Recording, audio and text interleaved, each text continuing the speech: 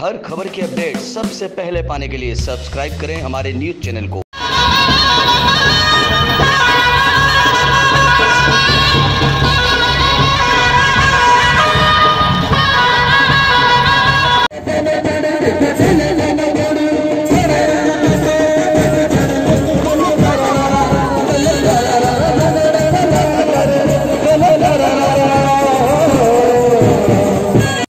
हमारे समाज में मतलब ये परंपरा शुरू से ही चलती आई है कि लड़कियों को घोड़े पर बिठाकर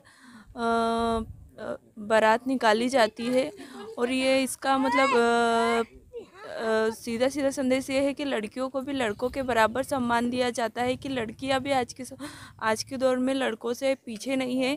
इसलिए मतलब उनकी बारात मतलब घोड़ों पे निकालो और शुरू से हमारे समाज में परंपरा चलती आ रही है। हाँ, पढ़ाई के मामले में मतलब बराबर, लड़कों के बराबर ही मतलब सम्मान दिया जाता है। ऐसा कुछ नहीं है कि लड़कों को ज़्यादा पढ़ाना है या लड़कियों को कम पढ़ाना है।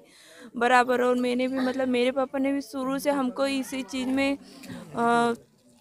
सपोर्ट किया है कि मतलब शुरू से इसी चीज़ इसी चीज़ को सपोर्ट किया है कि ज़्यादा से ज़्यादा पढ़ाया। मुझे मतलब इस काबिल बनाया कि मैं अपने पैरों पे खड़ी हो पा, हो पाऊँ। और मैंने ग्रेजुएशन किया है। और अब मैं टीचिंग में मास्टर डिग्री कर रही हूँ।